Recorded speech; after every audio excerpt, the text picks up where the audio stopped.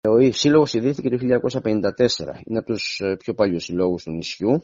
Ιδρύθηκε πρώτα-πρώτα με σκοπό να σπρώξει εισαγωγικά τα παιδιά προς τον αθλητισμό και να προωθήσει το πνεύμα της ε, ομαδικότητας, ε, αλληλεγγύης και να μέσα από τον αθλητισμό να γνωρίσουν τα παιδιά και άλλους νέους από τα διάφορα μέρη του νησιού.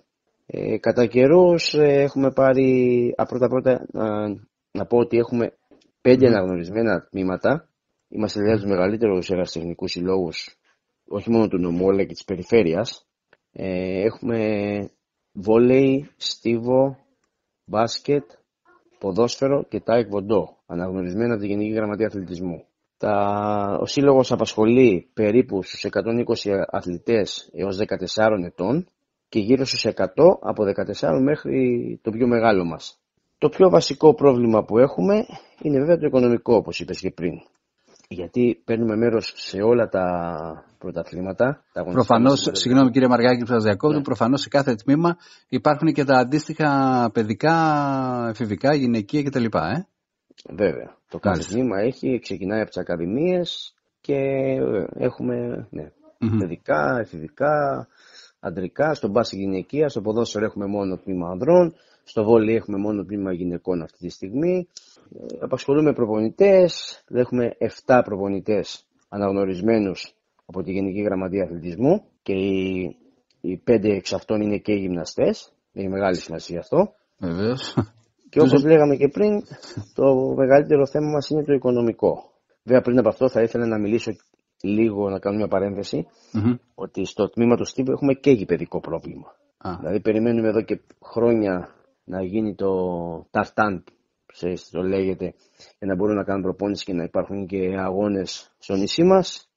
Τώρα τελευταία έχουμε δει κάποιο φως, υπόθηκε ότι δημοπρατήθηκε το στάδιο, γιατί αν έρθετε στο γήπεδο να δείτε κάνουμε προπόνηση ε, στο χώμα, που, σε ένα σκάμα που είναι, τι να πω, λάσπη το χειμώνα, ε, ξέρω το καλοκαίρι. Είχε υποθεί πάντως και παλαιότερα, είχε γίνει μια προσπάθεια όταν ήταν να πούμε και τους Αγιοπελακίδικου αγώνες, αλλά δεν προχώρησε το θέμα. Τώρα το φως που είπατε προηγουμένως, τι, τι σημαίνει; Ε, σημαίνει ότι τελευταία μάθαμε ότι διπομρατήθηκε το έργο Αχα. και περιμένουμε τον εργολάβο να έρθει να αναλάβει δουλειά. Γιατί πλέον, αν δεν υπάρχει ταυτάν σε στάδιο, αγώνες ε, δεν, δεν γίνονται. Και πόσο μάλλον όχι οι γεωπελαγίτικοι που τους περιμένουμε χρόνια, δεν γίνονται και οι πιο απλοί αγώνες του νομού. Αλλά ευελπιστούμε ότι θα πάει και θα προχωρήσει και αυτό και θα λυθεί και αυτό το πρόβλημα. Όπως τα τελευταία χρόνια λύθηκε και το πρόβλημα του γηπέδου του ποδοσφαίρου με το πλαστικό χλωτάπιτα και πιο παλιά του μπάσκετ το κλειστό γυμναστήριο. Ε, τώρα, να πάμε στα οικονομικά. Ε, όπως είπα και πριν, είμαστε ένας μεγάλος σύλλογος. Τα έξοδά μας περίπου κάθε χρόνο είναι γύρω στα 45.000 ευρώ και αυτά στην ουσία βγαίνουν ε, διάφορες εκδηλώσεις που κάνουμε, λοταρίες, μακαρονάδες. Δεν υπάρχει πλέον βοήθεια από, τους, από τις αρμόδιες ομοσπονδίες. Κάποια χρήματα τώρα παίρνουμε με τον νόμο αυτό το Αυγενάκι, ο οποίος βέβαια από τη μία σου δίνει κάποια χρήματα, από την άλλη για να μπεις και να είσαι νόμιμος και να έχεις όλα τα, αυτά που χρειάζεται, τα πληρώνεις διπλά. Οι μετακινήσεις γίνονται με το πλοίο της γραμμής στο μικρό, συνήθως, όχι συνήθως, κατά την πλειοψηφία τους.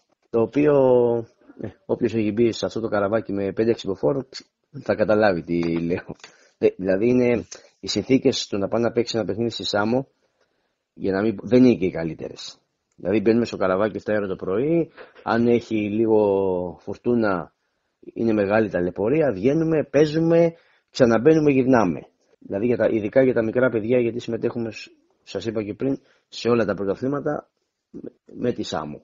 Mm-hmm. Είναι, οι συνθήκες είναι λίγο δύσκολες. Αυτό που θα ήθελα να πω είναι ότι πρέπει να ρίξουν λίγο τα μάτια τους οι, οι πιο πάνω σε εμάς εδώ στον αεραστηνικό αθλητισμό και ειδικά στα νησιά, γιατί πιστεύω ότι χρειαζόμαστε παραπάνω βοήθεια από αυτή που δίνουμε μέχρι τώρα. Και είναι καλό εδώ, ειδικά στα αποκρισμένα μέρη που δεν έχουμε και πολλά πράγματα για να ασχοληθεί η νεολαία, ο αθλητισμός είναι κάτι που τα κρατάει μακριά από πολλά πράγματα, κακά πράγματα και ίσως να χρεια... πρέπει λίγο δηλαδή να δώσουν βάρος σε εμάς και όχι στην υπηρετική Ελλάδα.